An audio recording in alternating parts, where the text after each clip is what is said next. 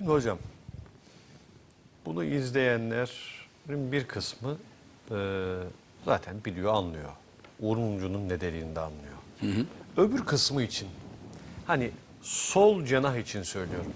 Ya e, e, asıl olan benim için bu ülke, bu vatan. Ya ellerini ayaklarını öpeyim.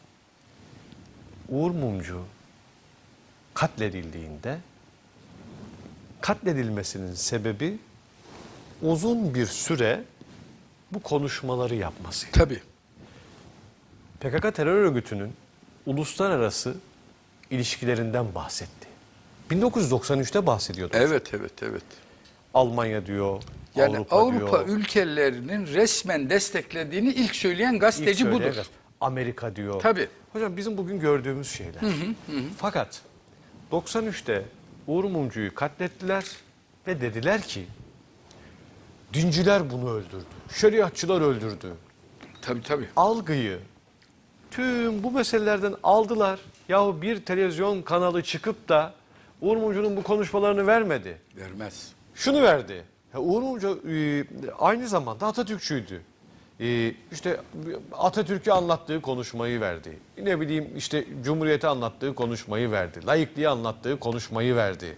E, birkaç da dindarları e, şey yapacak, e, rahatsız edecek söylemlerini verdi. Ya bu değildi ki Uğur Mumcu. Uğur Mumcu az önce dinlettiğimdi. Buna benzer birçok şey var. Ve o gün algıyı yönettiler. Yanlış algı. İnsanlar sokaklara döküldü. Kahrolsun şeriat diye bağırdı. Tabii. Ezanlar yuhlandı. Ee, yani niye? İşte bir yani Türkiye'nin en önemli gazetecilerinden biri tırnak içerisinde İran'dan geldiler onlar öldürdü, şeriatçılar öldürdü, dinciler öldürdü falan yalanıyla ülkenin gündeminden asıl meseleyi düşürdüler. 93 bin- e, 2019 26 yılda bu ülke binlerce evladını kaybetti. Turgay bak o şeyden önce, Uğur önce Hürriyet'in bir genel yayın yönetmeni vardı öldürüldü. Adı neydi onun? Ab, e, Abdi İpekçi Milliyet'indi. millet. Hürriyet'in. Şey, e, söyleyeceğim hocam devam etsen. Bak o da işte yani dinciler şunlar bunlar öldürdüler. Hanımı yıllar sonra şu açıklamayı yaptı. Kocamın kimin tarafından, hangi şey tarafından öldürüldüğünü biliyorum.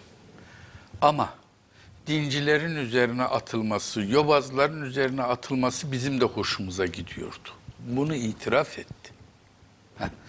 Şimdi Uğur Mumcu'nun öldürülüşü yani ilk defa bunları dile getirmesi bir, bir de içeride iç çatışma çıkması açısından Uğur Mumcu önemli bir figürdü. O nedenle yani e, Abdi İpekçi döneminde Mehmet Ali Ağcan'ın öldürdüğü dönemde Abdi İp- İpekçi nasıl en önemli figürdüyse 93'te de bu Uğur Mumcu en önemli figürdü. Fakat şu vardı. Bugün daha iyi Yavaş yavaş da değerlendiriyoruz. 28 Şubat'a götürüyor bu süreç. Ta oraya götürüyor zaten. Uğur Mumcu solcuydu. Hatta Marksizme yakın solculuğu da vardı. Ama yerliydi ve milliydi. İşin o yönü vardı. O yüzden PKK'ya solcular net tavır almazken hatta bir kısmı işte Türkiye halkları, halklara özgürlük, Emeç. halklara bilmem ne. Ha Çetin Emeç. Ee, gibi şeyler şey ederken Uğur Mumcu terör örgütüne karşı durdu hep. Türkiye'nin birlik bütünlüğünü devamlı savundu. Şimdi 24 Ocak'ta bu katledildikten sonra bakın aradan 10 gün geçiyor, 10 gün. 10 gün geçiyor ve Adnan Kahveci 5 katlediliyor. Şubat'ta. Adnan Kahveci için gene biraz anlatmakta fayda var. Trafik kazası deyince bir şey anlamayabilirler, şey etmeyebilirler. Aşırı hız. Ha ya trafik kazası işte. Niye buna şey ediyorsunuz? Adnan Kahveci rahmetlik Kartal bölgesinden milletvekili seçiliyordu. O zaman bölge, Bölge, bölge. şeyi vardı. Kartal'dan seçiliyordu. Adnan Kahveci kışın 12 trenine binerdi Ankara'dan Cuma günü akşam. Sabahleyin 6'da falan Kartal istasyonunda inerdi. Kartal istasyonunda bir cipi vardı onun. O ciple cumartesi, pazar günleri gezer Kartal'da. Yani seçmenlerle, halkla bir arada olurdu. Pazar günü akşam gece 12 treninden cipi oraya bırakırdı. Kartal'dan trene binerdi. Sabahleyin Ankara garına inerdi. Eve gider oradan da bakanlığa gelirdi. Bu 365 gün böyleydi. Her hafta sonunu Kartal'da geçirirdi. Yazın ne yapardı? Yazın demir yolunu kullanmazdı bahardan itibaren. Onun Toyota diye bir arabası vardı. O arabayla Kartal'a gelir. Sabah namazında çıkar.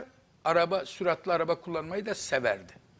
Sabah namazında çıkar, saat 9 gibi Kartal'a gelirdi. Oradan cipine biner, cumartesi, pazar yine dolanır.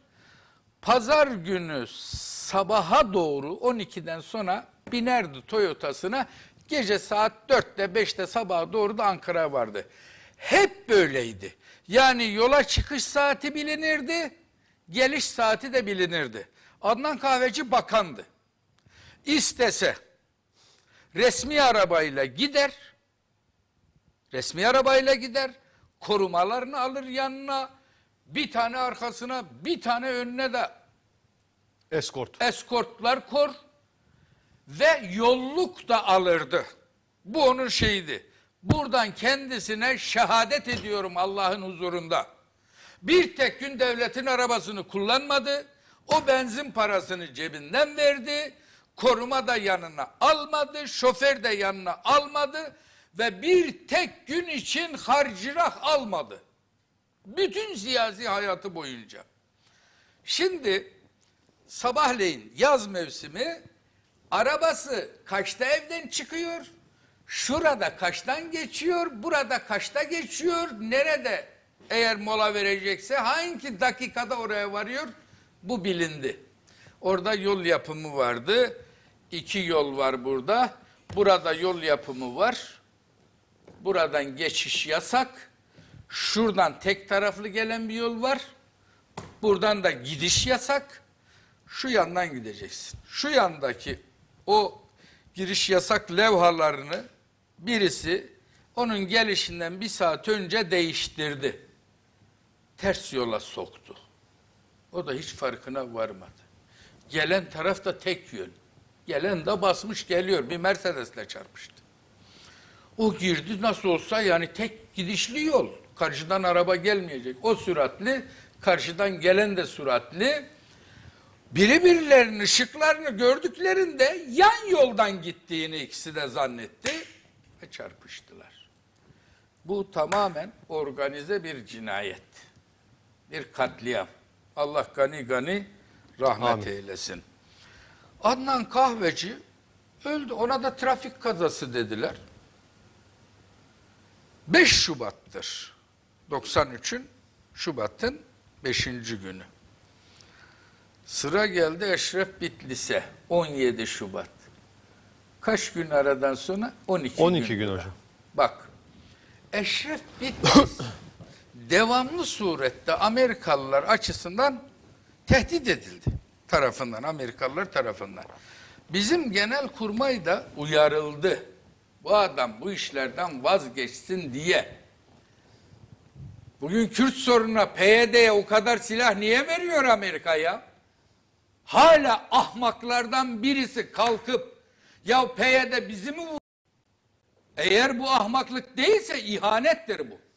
Bu kadar silah niye veriliyor? Eşref Bitlis bunu barışçı yollarla Özal da aynı şeydi. Yani oradaki Kürtleri öldürerek değil. Kürtlere ya biz niye kavga ediyoruz? Niye dövüşüyoruz? Bin senedir biz bu topraklarda bir arada yaşıyoruz. Yani etle tırnak gibi olmuşuz. Biri birimizi ayırt etmemişiz. En son Çanakkale Savaşı'nda, Yemen Savaşı'nda, Filistin Kanal Savaşı'nda, Kutül Amare'de biz hep beraberdik. Daha fazla video izlemek için kanalımıza abone olabilir, ilk izleyen olmak isterseniz bildirimleri açabilirsiniz.